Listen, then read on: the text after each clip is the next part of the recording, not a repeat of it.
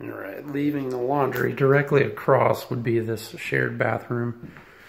Two vanities again. Same setup. And you got the shower tub combo here.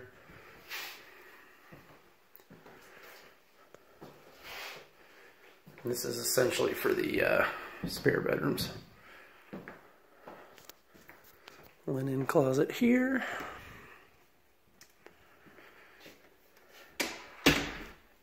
You got the bedroom on the left. Pretty standard size, standard closet. These two bedrooms overlook the backyard. What I noticed is there's no access to the second level other than those stairs. So don't know if you could find a way to get some access on the second floor or not. That second bedroom, basically a mirror image of the last one.